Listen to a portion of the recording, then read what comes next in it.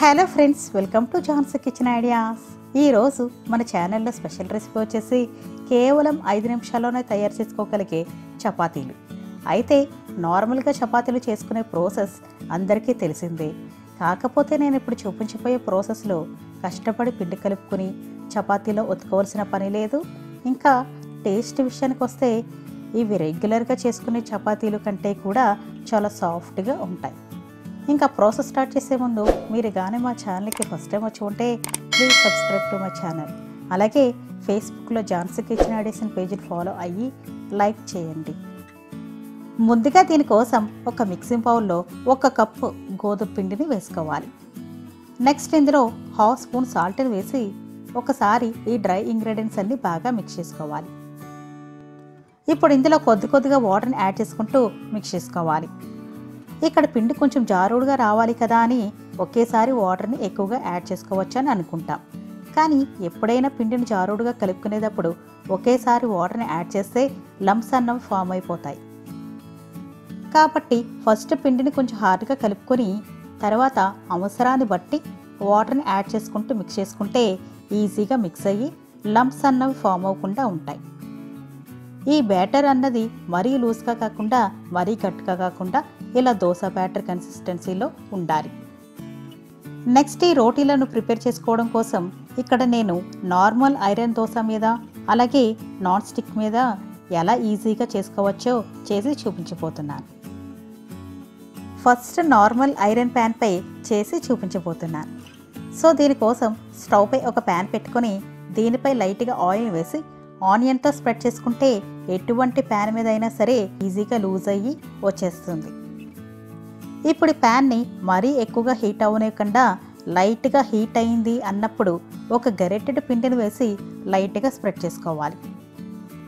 ఈ పిండిని మరీ పలుచగా కాకుండా కొంచెం మందంగానే ఉండేలా చూసుకోవాలి. అప్పుడైతేనే చపాతీలు చక్కగా పొంగుతాయి.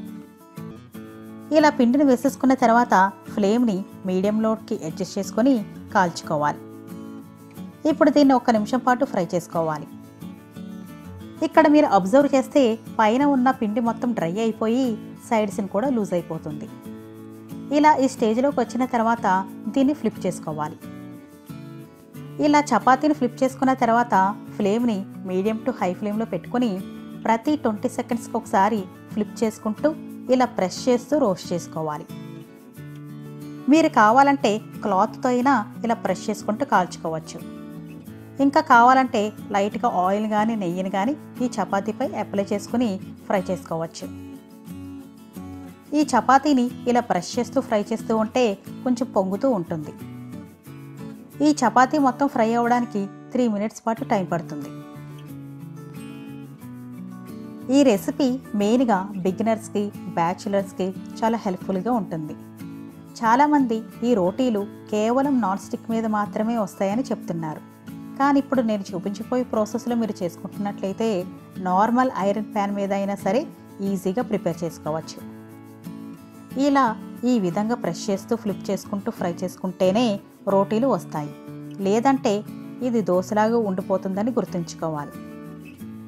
ఇలా ఈ విధంగా ఫ్రై అవుతే సరిపోతుంది. నెక్స్ట్ ఇప్పుడు నాన్ స్టిక్ ప్యాన్ మీద ఎలా ప్రిపేర్ చేసుకోవచ్చో చూపించిపోతున్నాను ఫస్ట్ ప్యాన్ లైట్గా హీట్ అయిన తర్వాత ఒక గరిటెతో పిండిని తీసుకుని లైట్గా స్ప్రెడ్ చేసుకోవాలి. తర్వాత ఫ్లేమ్ని మీడియంలో పెట్టి ఫ్రై చేసుకోవాలి. ఫస్ట్ పైన పిండి మొత్తం డ్రై అయిపోయి అలాగే ఎడ్జెస్ అన్నవి ప్యాన్ నుండి సెపరేట్ అవుతే అప్పుడు మరొక వైపు ఫ్లిప్ చేసుకోవాలి. ఇప్పుడు ఫ్లేమ్ని మీడియం టు హై ఫ్లేమ్లో పెట్టుకుని అటు ఇటు కూడా ట్వంటీ సెకండ్స్ పాటు తిప్పుతూ రోస్ట్ చేసుకోవాలి. ఇలా కొంచెం ప్రెష్ చేస్తూ ఫ్రై చేసుకుంటే లోపలికి ఎయిర్ గ్యాప్స్ వెళ్ళి బబుల్స్ వస్తూ ఉంటాయి. అలాగే రోటీ కూడా చక్కగా పొంగుతూ ఉంటుంది. ఒకవేళ ఇలా ప్రెస్ చేస్తూ రోస్ట్ చేసుకోకపోతే రోటీ అన్నది పొంగనే పొంగదని గుర్తుంచుకోవాలి. ఇలా మీడియం టు హై ఫ్లేమ్లో ఈ రోటీని కాల్చుకోవాలి. ఇలా రెండు వైపులా ఈవెన్గా ఫ్రై అయిన తర్వాత వీటిని సర్వింగ్ ప్లేట్లోకి తీసుకోవాలి.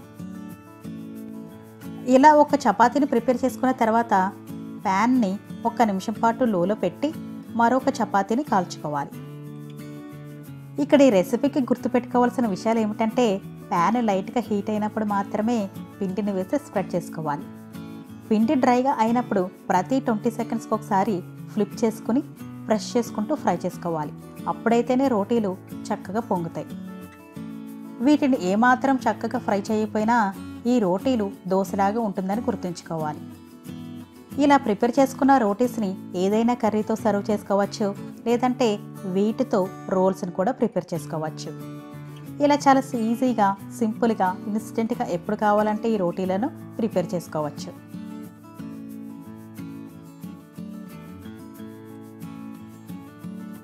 సో ఫ్రెండ్స్ ఈ వీడియో కనుక మీకు నచ్చితే లైక్ చేసి మీ ఫ్యామిలీ అండ్ ఫ్రెండ్స్తో షేర్ చేసుకోండి.